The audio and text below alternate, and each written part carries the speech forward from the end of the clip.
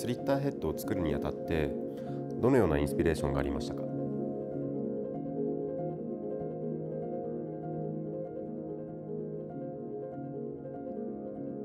とまあやっぱり一つ大きいのはやっぱ香港っていう街から受けたこう自分のなんかこう熱量みたいなところと、まあ、もう一つはちょっと常々やってみたかったところで言うと「サイレンっていう作品をまあ昔手がけたんですけどそういうコンセプトをさらに再解釈していったらどうなるかなみたいなところが起点になっているとその大きいところで言うと2つがインスピレーションかなと思っております。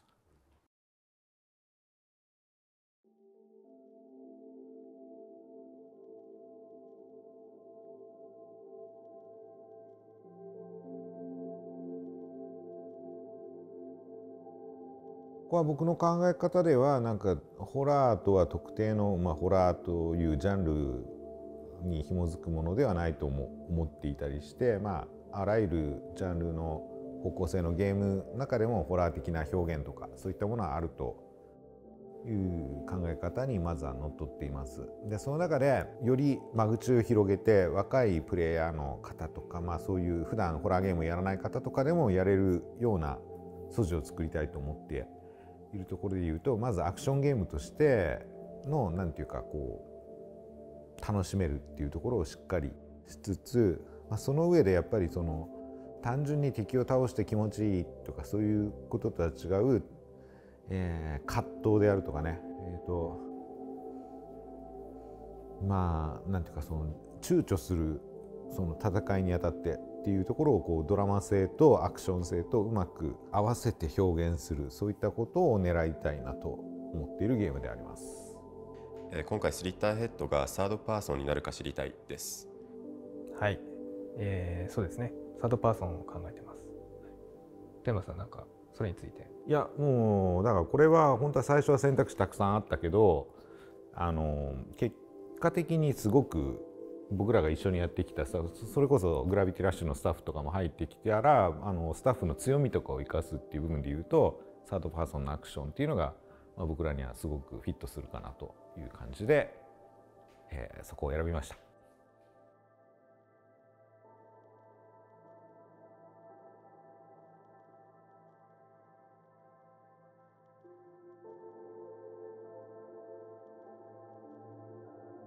質問としては抽象的なというかまあサイレンにあったスカイジャックみたいなもう文字通りの他人の視点みたいなところもあると思うしこ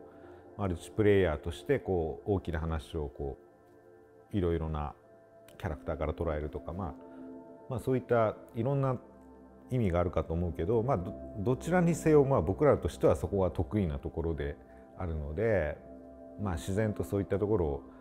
活用したくなってて実際に使っていったりはしておりますのでご期待ください。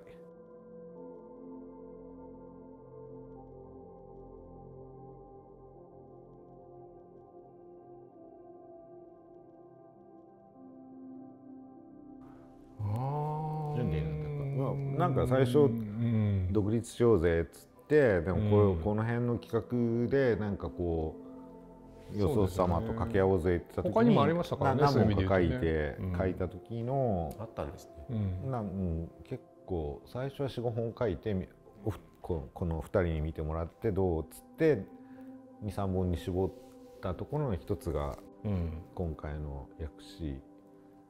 の原案かな。うん、まあさ次の質問にもつながるけど規模感的には今まで僕ら私たちがやってきたタイトルに一番近いのがそのこの今やってる薬師スリッターヘッドなんですけどだからそれが何としてもやるっていうよりは会社の設立とバランスを見ながら選んでいったっていう感じですね。で近いんですけど同じじゃないです。あのやっぱり予算規模的にもまあもう少しあの抑えて、えーと、とコンパクトなところに着地しようと考えてますね。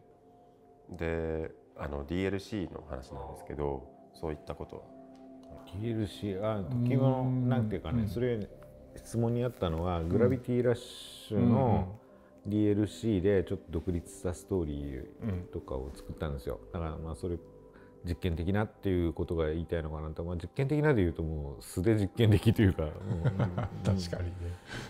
いやもうちょっと楽に作ってたらいいのにと今回もね本当に。なんでこんなに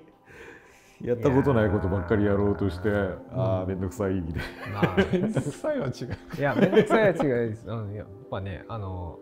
あるものを真似してもしょうがないんで結局必ずその、ね、やったことないこととか見たことないこ勝負ですね。ととかそうですね。結局なんかこう、はい。これやったことないからやろうぜっていうそうですね。ことにうんいい意味で。そういい意味で変なものっていうのを作りたいなっていうのがありますね。まだ DLC はだからそういう意味で言うと今まだまっとも言えないですね、今のこの本編が終わってから、はいはいはい。あもうでもそうやね本作本編に集中すればするほどなんていうかね DLC とか、まあ、それこそ続編とかに言うと、もうとにかく最初の一つがみんなが楽しんでいただけないと、まあ、そうですよね。それにかかっているのでまあそれまずは楽まあでもしんでもらうこと、加えて言うと、だから今まではやっぱりなんでしょうソニーがたいた時とかはそこで承認されないといけないんですけど今の状況としては面白かったらやってみようってできちゃうんで、それは逆にあの声が大きければ大きいほど、うん、答えやすくはなってますね。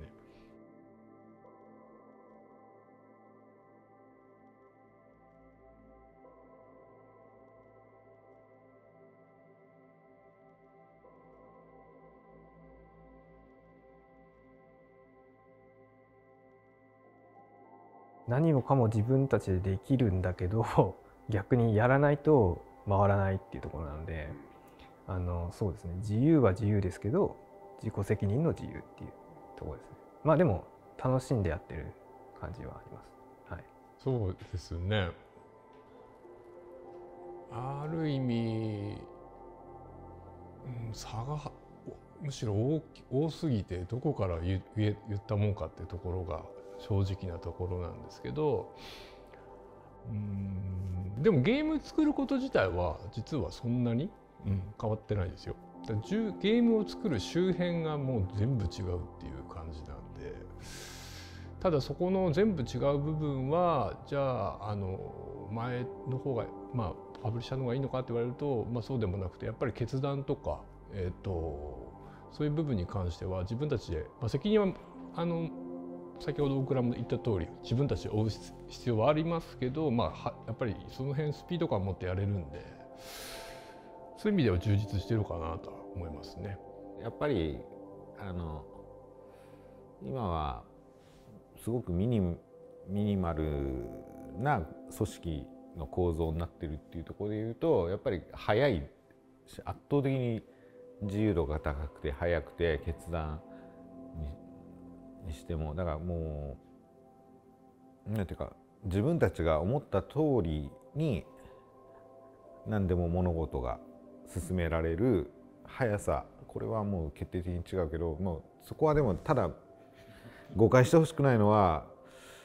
あのなんかといってだからすなんていうかないいことばかりでもないところあるんですよ。やっぱりあの苦しい局面というか苦しい判断とかでもなんか今までやったらどっかの組織のどこかの誰かがふわっと吸収してくれていたようなことも全部自分に乗っかかってくるっていうところのまあその責任の重さみたいな、えーまあ、完全に相反する要素ではあるけど、まあ、そこはただ今のところはすごく楽しめているというかね若い頃というかねかつて自分たちがやっていた時のこじんまりとした時の舵取りのニュアンスとちょっとこう今は近しいものでもただ実際には規模大きかったり本当に何て言うかなもう僕らが責任を負わなきゃいけない範囲は広がっているけど、まあ、そういう意味で言うと何て言うかすごく何て言うか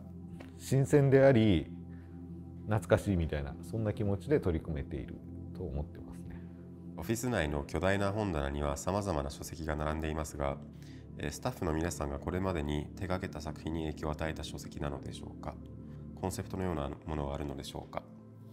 やっぱりこうまず作品に影響を与えたなんていうか資料みたいなものを集めたいっていうかね。そこに関してはまあなんていうか将来的にまあどういう形かわからないけどこうユーザーの人がここに遊びに来て便利にする機会があったりとかそういうことができたらいいなっていう思いはあるのでまあそういうことを見越してなんですがまあとはいえとはいえなんか全てが全て、えーと、そういうものでもなくても僕の 家の本棚から持ってきたみたいなものもあったりするんですけど、えー、今もね日々ちょっとコミックを中心にちょっとこう実際になんか薬師スイートヘッドに影響を与えた作品と言えるものを増強したりとかをやっているので、まあ、ちょっとそういう意味でちょっとこう興味を持って追っかけていただけるといいなとは思ってます。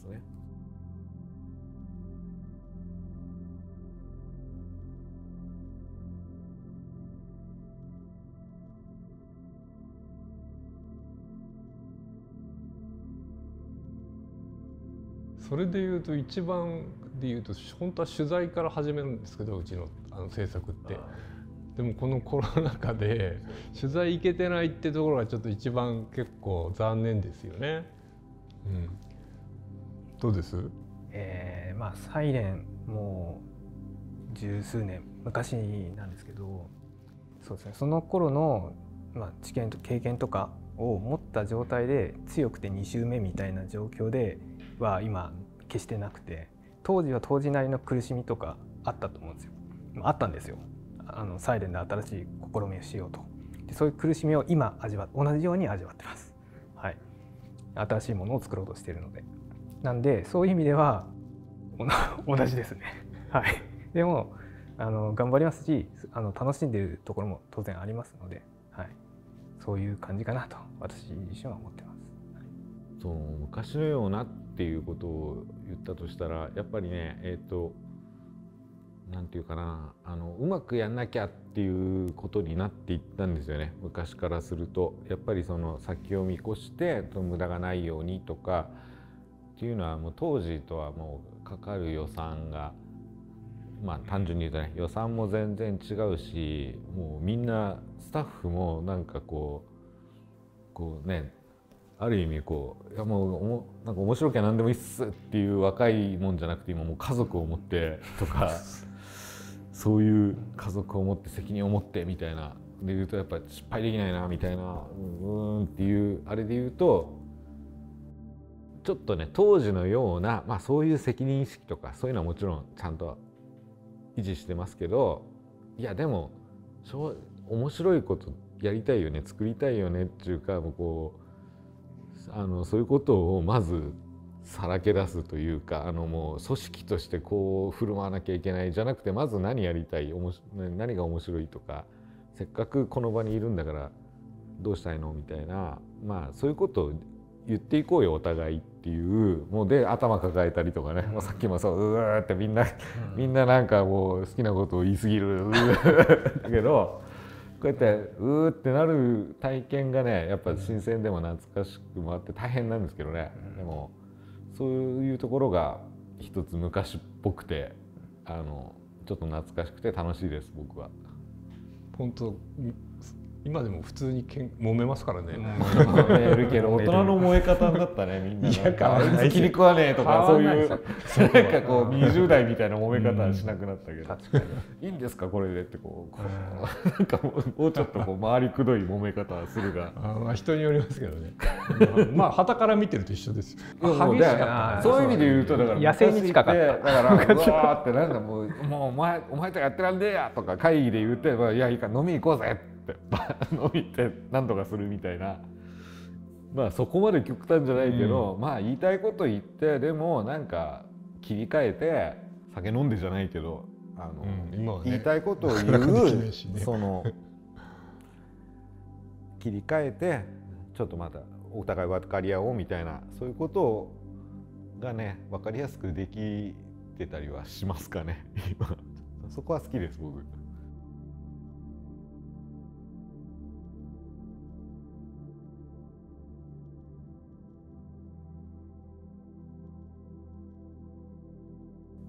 はいえーと、これは本当にね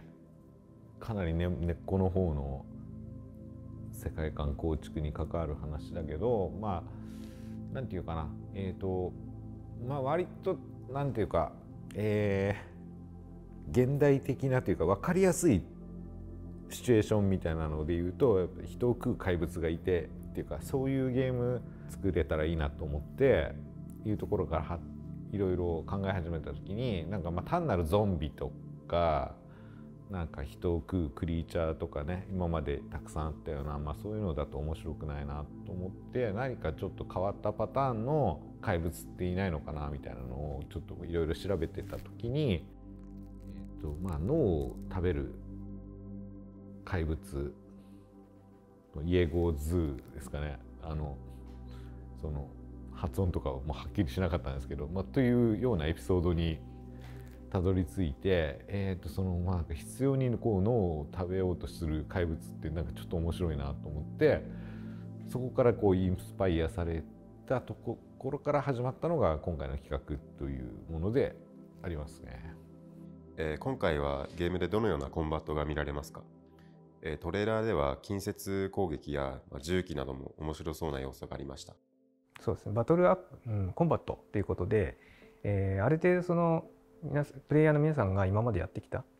アクションゲームとかで、まあ、こういう作法こういうプレイとかそういう感覚はあのある程度従事しております。でそのそれにプラスでさっき富山さんが言ってたようなその新しいことへのチャレンジみたいなのがありまして私も同様の考え持ってまして今までになかったなんだこりゃっていうような要素をうまいこと、えー、入れていけたらなと思いますのでそうですね新しいなんうんちょっと触ったことないぞこれはみたいなのを、はい、あのうまく入れ込んでいきたいなと思っております。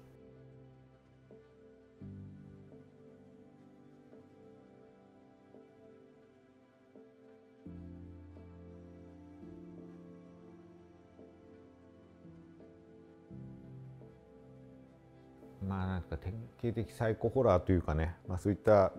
サイレントヒルの時にちょっとフォーカスしたような要素に、まあ、それもいつかやりたいと思ってるけど僕個人的にはそういったものはなんかより絞られたシチュエーションというかね、まあ、予算感とか、まあ、テーマの、まあ、もっとこう個人に集約する形っていう時にやりたいかなと。で今はやっぱりまあ、る程度こうアクションが得意なスタッフとか、まあ、そういったところでやっているが集まってやってるっていうとはやっぱり各々の強みっていうところで、まあ、ちょっと違う形というかね、まあ、なので、まあ、より個人的な作品はいずれ将来的にはやりたいと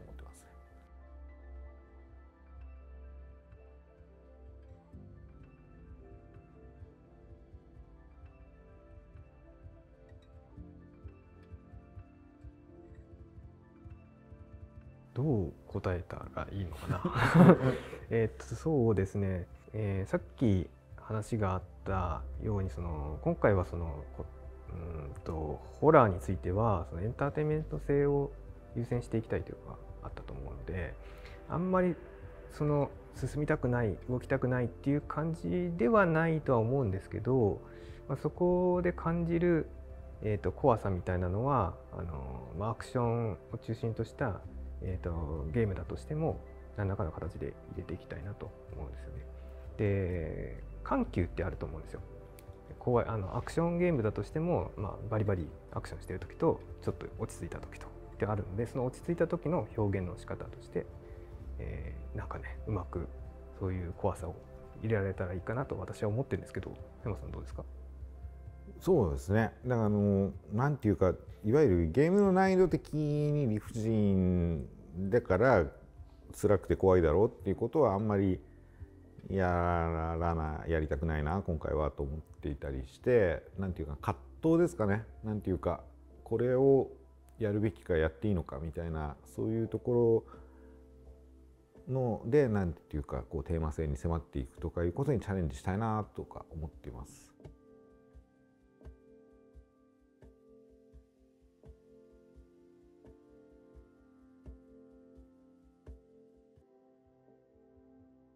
はい、あディスクですね。あもちろんやっていきたいと思ってますよ。あのでできればね、あの初回はコレクターズエディションみたいなのもね、ね、ロマンがありますからね、ね。僕らの世代だと。やっぱりやりたいですよね。パッケージにはやりたいですね、で富山さん他はい。の、えー、シリーズやったかと。サイレントヒールサイレントヒール、まあ、序盤のとかはもちろんめちゃめちゃやってます、はい、ただ結構いろんなモバイルも含めてたくさん出てて全部網羅してるかっていうとごめんなさいって全部はやってないです、まあ、全部細かく追ってはない。んですはい。でもまあ主だったとかやってます、はい、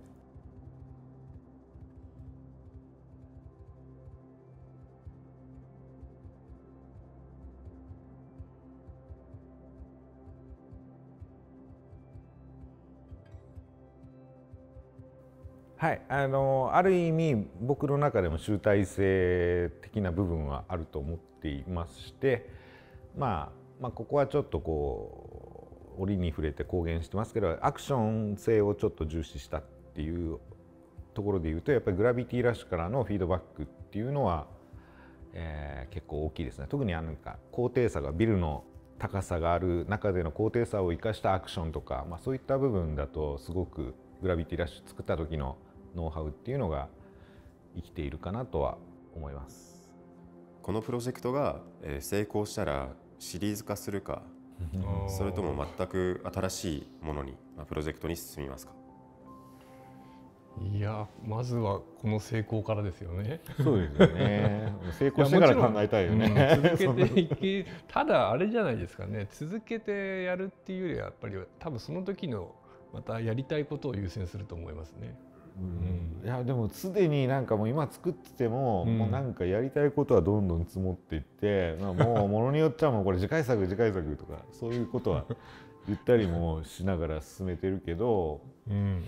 まあでもなんだろうな。ここはぶっちゃけた話やっぱり最初のインパクトが大事だと思ってるんで、そこにまずは集中。そうですね。はいそこです。はい